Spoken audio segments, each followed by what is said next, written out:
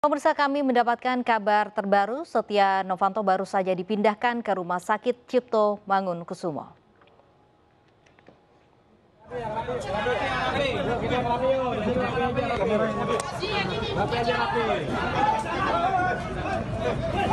rapi, rapi, rapi. Eh, jangan, jangan dorong, jangan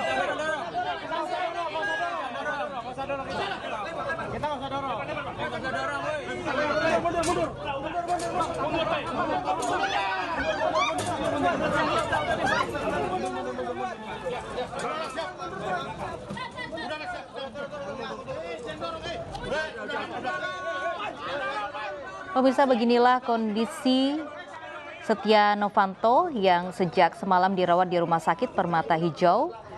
Hari ini rencananya dipindahkan ke Rumah Sakit Cipto Mangun Kusumo Jakarta.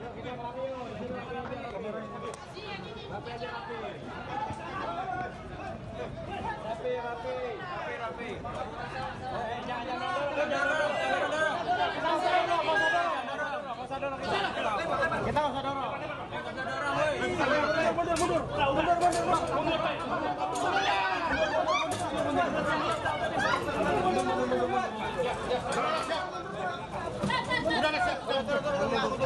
rapi, rapi. Yuk, kita yang rapi yuk. Di sini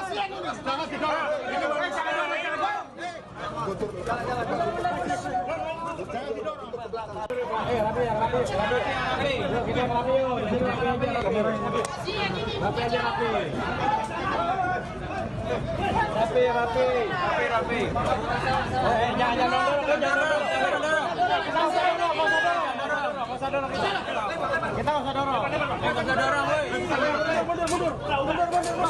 Pemirsa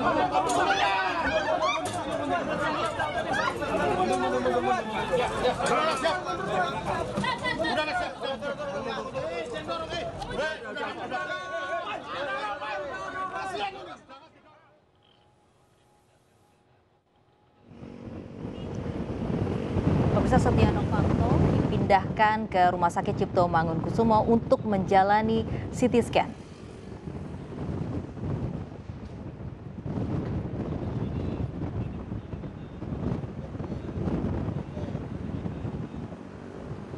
Dan saat ini ambulans yang membawa Setia Novanto sedang dalam perjalanan menuju Rumah Sakit Cipto Mangun Kusumo Jakarta. dari kamera kali ini. Dari kamera. Dari kamera ya. Dari kamera.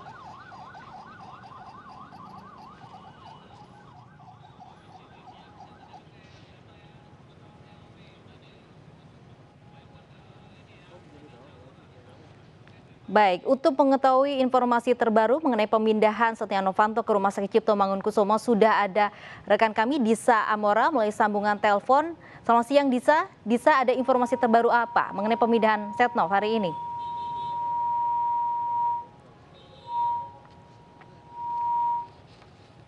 Baik, kami berusaha mencoba menghubungi kembali.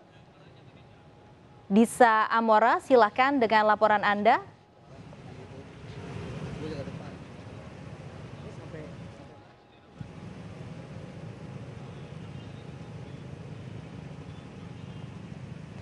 Dan saat ini pemirsa Setia Novanto akan dipindahkan ke Rumah Sakit Cipto Mangunkusumo Jakarta untuk menjalani CT scan. Dan kita langsung bergabung dengan Disa Amora yang saat ini sedang dalam perjalanan mengikuti perjalanan Setia Novanto menuju Rumah Sakit Cipto Mangunkusumo Jakarta. Silakan Disa. Iya, baik uh, Lofi, memang sekitar uh, lima menit yang lalu atau baru saja ini Setia Novanto dipindahkan dari Rumah Sakit Medika Permata Hijau ke uh, Rumah Sakit Cipto Mangunkusumo dan saat ini saya berada di Jalan Arteri Permata Hijau masih mencoba untuk mengikuti atau mengejar mobil ambulans yang membawa Setia Novanto. Kami juga belum mengetahui terkait dengan pemindahannya ini, namun informasi yang kami dapatkan memang pemindahannya ini berdasarkan rujukan dari Rumah Sakit Permata Hijau, Lofi. Baik, bisa apa alasan dari pihak uh, Rumah Sakit Permata Hijau yang mungkin Anda ketahui, uh, apa alasan dari Setnov ini dipindahkan ke Rumah Sakit Cipto Mangunkusumo? Iya, baik Lovi memang hingga saat ini kami belum mengetahui alasan pasti karena uh, kepemindahan dari Setia Novanto dari Rumah Sakit Permata Hijau ke RSCM ini memang tiba-tiba, bisa dikatakan tiba-tiba, tidak uh, dari pagi tadi kami para awak media yang menunggu di Rumah Sakit Permata Hijau pun hingga adanya press conference yang diberikan oleh pihak rumah sakit sama sekali tidak ada keterangan terkait dengan pemindahan Setia Novanto ini Lovi dan saat ini dari pengacara Setia Novanto pun masih berada di Rumah Sakit Permata Hijau sedang memberikan keterangan kepada awak media Lovi terkait Baik. dengan kepemindahan Setia Novanto. Baik, hingga saat ini Anda mengikuti perjalanan Setia Novanto, kira-kira sampai di mana? Apakah memang sudah mendekati Rumah Sakit Cipto Mangunkusumo? Uh, baik, saat ini saya berada di Jalan Arteri Panjang uh, Permata Hijau, masih di kawasan Jakarta Selatan. Dan nampaknya memang perjalanan kami masih jauh, Lovi, sehingga memang uh, belum dipastikan kami akan tiba secepat apa ke Rumah Sakit Cipto Mangunkusumo untuk mengetahui uh, atau dapat melihat begitu kedatangan dari Setia Novanto di RSCM nanti. Baik, sebelum Anda mengikuti perjalanan Setia Novanto ke Rumah Sakit Cipto Mangunkusumo, uh -huh. Anda berada di Rumah Sakit Permata Hijau. Bagaimana pantauan dari suasana terakhir ketika memang Setia Novanto akan dipindahkan ke Rumah Sakit Cipto Mangunkusumo, Disa? Iya, baik.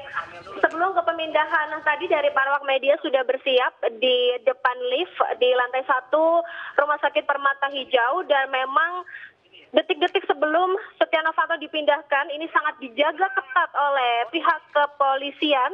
Dan hampir tadi ada sedikit bentrokan begitu antara aparat dan juga awak media yang ingin meliput. Karena dari awak media juga begitu antusias untuk uh, meliput uh, kepemindahan dari Setia Novanto ini. Namun memang sangat dijaga ketat uh, Lovi sehingga tadi sempat ada keributan sedikit begitu bentrok sedikit antara pihak kepolisian dengan awak media dan kami juga tadi masih melihat adanya penyidik KPK yang memang sejak tadi malam kemudian tadi pagi pukul 6 hingga siang tadi tim penyidik KPK pun masih sempat datang begitu untuk berkoordinasi dengan dokter yang menangani Setia Novanto di Rumah Sakit Permata Hijau. Baik, ketika memang uh, Anda melihat uh, rombongan dari Setia Novanto ini keluar dari Rumah Sakit Permata Hijau, Anda sempat melihat tidak bagaimana kondisi dari Setia Novanto, Disa?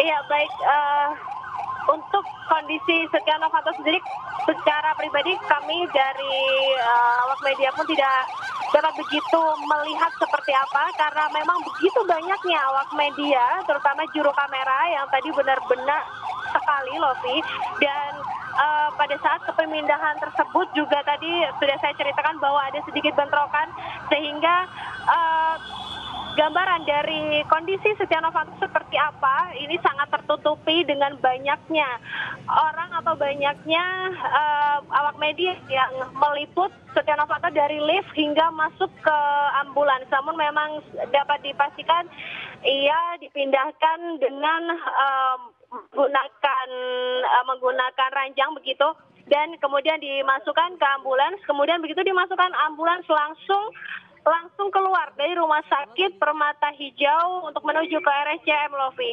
Baik, selain memang ada penyidik KPK yang mengikuti rombongan dari Setia Novanto ini menuju rumah sakit, ada siapa saja rombongan Setia Novanto yang ikut ke RSCM bisa? Baik, bisa diulangi Lovi? Selain memang tadi Anda sebutkan ada penyidik KPK juga yang mengikuti perjalanan mm -hmm. Setia Novanto menuju RSCM. Selain memang penyidik KPK ada siapa lagi yang memang ikut dalam rombongan perjalanan Setia Novanto ini menuju Rumah Sakit Cipto Mangunkusumo? Iya, kami belum melihat lagi akankah ada keluarga yang mengikuti ke Rumah Sakit Cipto Mangunkusumo, namun kami melihat adanya pengacara Setia Novanto Fredrik Yunadi yang ada di Rumah Sakit Permata Hijau, namun ia tidak langsung mengikuti ambulans yang membawa Setia Novanto karena ia harus memberikan keterangan kepada awak media terkait kepemindahan ini. Apakah ini rujukan memang atas dasar dari Rumah Sakit Permata Hijau atau memang permintaan dari Setia Novanto sendiri. Begitu yang kami lihat Lovi di rumah sakit tadi.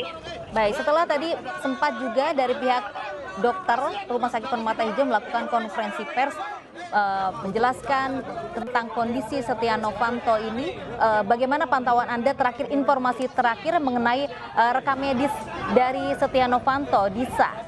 Iya, baik.